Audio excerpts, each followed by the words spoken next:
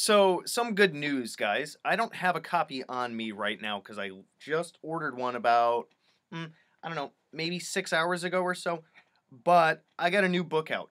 So, I decided to put these two books together because, you know, it's like um, peanut butter and jelly, or, you know, coffee and um, donuts, or, I don't know, think of, a, you know, chocolate and peanut butter, things like that. I'm talking about magical theater and magical mechanics. You got the inner workings of the mind and the outer workings of the universe.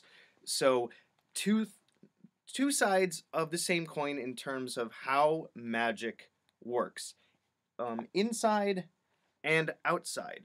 So, I combined both of these into what I called magickal mastery. And um, it's just the I loved putting it together because it just made me think of the two books that I honestly think that um I love the most out of the different things that I've written. Although my update to Handy Sigil Magic, which I will expand upon to make it an entire ritual system out of it, not just the spellwork part, that's going to be fun as hell to make. But Magickal Mastery is just the perfect thing to understanding how magic works as a whole. So if you already have magical theater and magical mechanics, then um good for you guys and thank you so much for supporting me with that.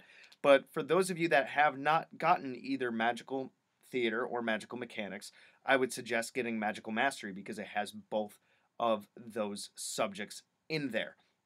It has both of those perspectives in there. It's you know, I kind of I took um, you know, Modern Magick by Kraig and I saw how he put different sections into this big book of his and how it was so comprehensive and it covered everything that he wanted to cover. And that was my inspiration behind making Magickal Mastery. Because if you know how it works on the inside and the outside, you can really master how magic works. So, um, yeah, I'm really proud of it. It took me a little while to brainstorm how to um, kind of just structure it in a way um, and how to combine it, I guess, you could say, and make it look nice.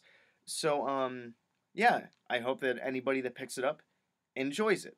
So, um, you know, I've updated my um my end screen with my uh, with my books and such. That took a minute, and so you're gonna see that on all of my other videos because it is effectively another book that I just put out. And like I said, I'm really proud of this one, but I can't wait to see what I do in terms of writing next.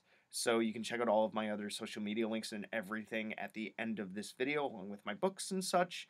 And um, you know, connect with me down in, in the comments through email on Facebook. And um, yeah, so I just wanted to tell you guys the good news. Good hunting.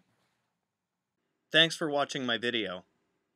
So if you want to check out my playlists, I have, among others, the Simon Necronomicon, the Tree of Life, General Magic, Tulpamancy, a playlist on my books, the Elements, Stones, the theories that govern magic, and the gods and goddesses of Mesopotamia. If you want to check out my books on Amazon, I have Creating Consciousness, Magical Mechanics, Magical Theater, Magickal Mastery, which is a combination masterwork of magical theater and magical mechanics, Handy Sigil Magic, and The Guide to the Spheres and Beyond. You can also find me on Facebook at magickology.yt. You can email me at priestofthenecro at gmail.com, and you can even check out my Instagram, which is magicology. And good hunting.